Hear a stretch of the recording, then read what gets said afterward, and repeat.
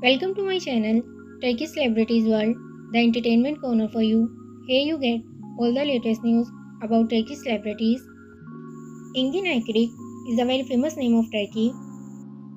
He recently appeared in a series, Sefirin Kızı, along with Tuba Büyükaslan.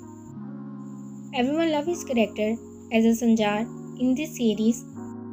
Now his fans will soon see him in a new Netflix movie, May Your Way Be Open. Engin Akyürek will play the role of Captain Saleh in this series. Tolga Sarataşi will be the partner of Engin Akyürek in this new movie.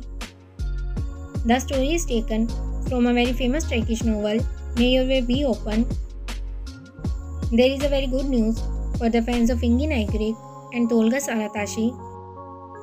Engin and Tolga complete the shooting of their new movie.